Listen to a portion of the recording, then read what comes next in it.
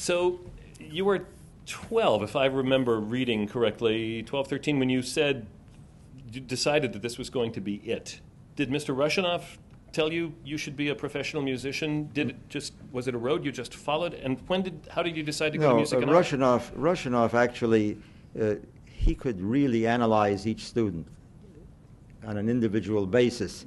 So he knew uh, what the strengths and weaknesses were, and he knew how to uh, how to get the most out of out of a student.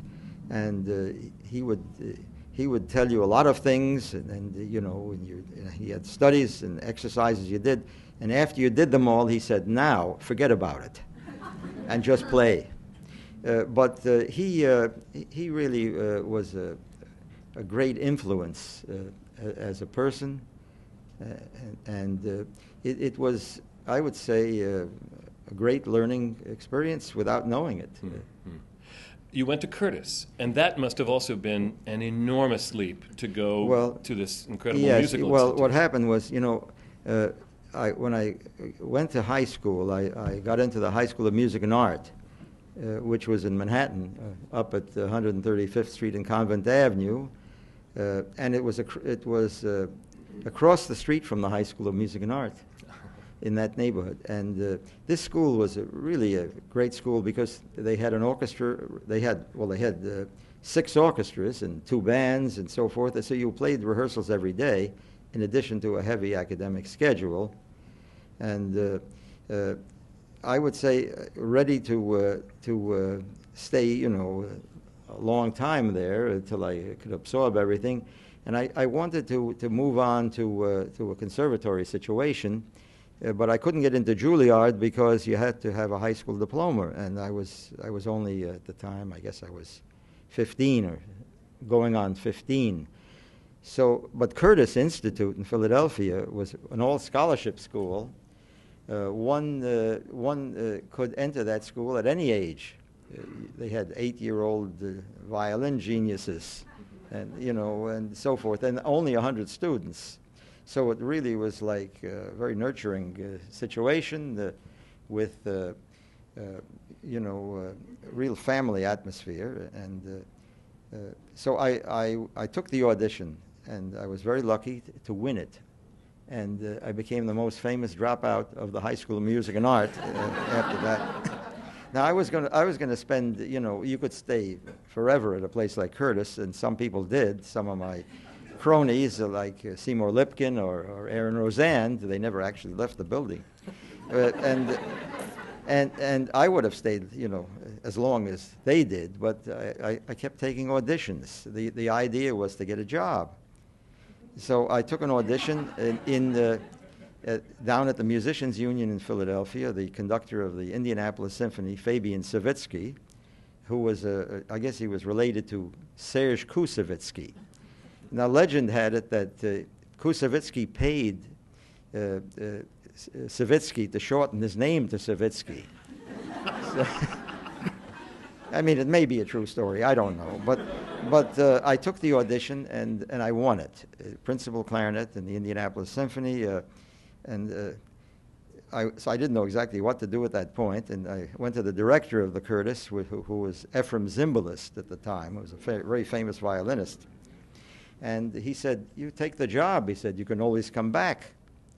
Well, I took the job, and I became the most famous dropout of the Curtis Institute at that point. Uh, so I went to the Indianapolis Symphony uh, at the age of 16, uh, which, you see, in those days, people took auditions because one, you might go to an orchestra that paid you $5 a week more, or the season was two weeks longer, or they played interesting repertoire, or they made recordings. So you were always taking auditions. Today, uh, you could uh, make a career in almost any of those places because they, they are year round. Even the New York Philharmonic in those days was only 28 weeks. That was their season. So anyway, I, I went to the Indianapolis Symphony, and uh, and I kept taking auditions along the way, and uh, I, I went to the uh, Busch Chamber Players uh, the following season.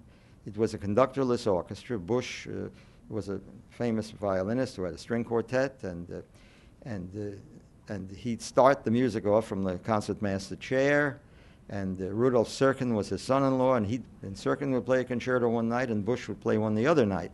So you got to learn how to play without watching a conductor's beat, which was uh, terrific. Plus, it paid much more than the Indianapolis Symphony. and Busch, who became a father figure to me and probably a lot of others, uh, he said, "You have to play for this person, you have to play for that person," and uh, I, he had me audition for uh, William Steinberg, who was a really great conductor who was a protege of Toscanini, and uh, who was the music director of the Buffalo Philharmonic at the time. Well, I played for him and I got that job. I won the job. Kept winning auditions. Very, very lucky. Yeah, it was all luck, Mr. Drummond. luck was a, a, strong part of it, I'm sure. But, but uh, so while I was at the Buffalo Philharmonic, which was a very good orchestra, it had a brand new concert hall, it was, uh, it was quite fun to, to play there, you know, except they had a lot of snow. I remember that it was. Uh, Still the, do. The winters there were very, very uh, noticeable.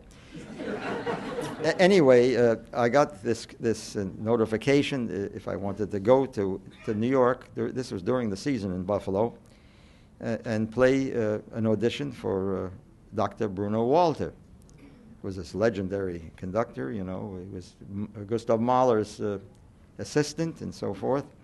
And uh, I went down on a weekend that we, when we didn't have a concert in Buffalo, and I, and I played for Walter and a committee of principal players of the Philharmonic. At, and this was at Car- this was at in, Carnegie Hall. This is what is now Weill Recital Hall.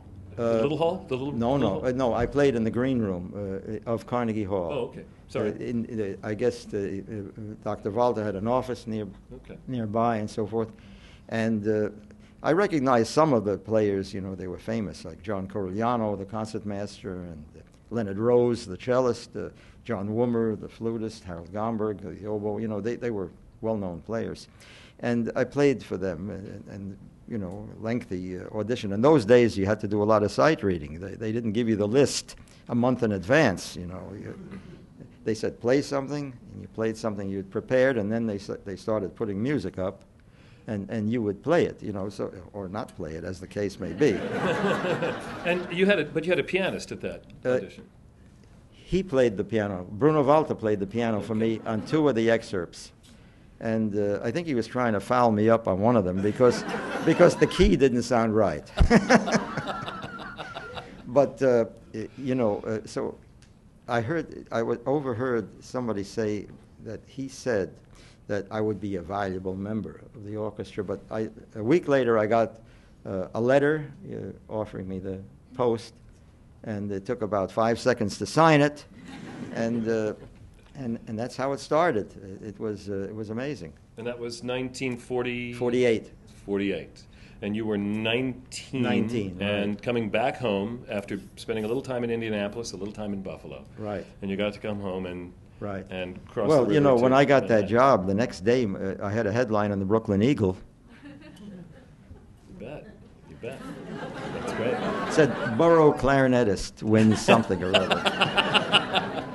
it's just quite a picture, isn't it? Um, this young man, not yet 20 years old, in a room with Bruno Walter at the piano, and Harold Gomberg, and Leonard Rose, and John Corigliano, and some other players, the committee, of principals of the New York Philharmonic. Well, my, my father thought I was Joe Louis, champion of the world.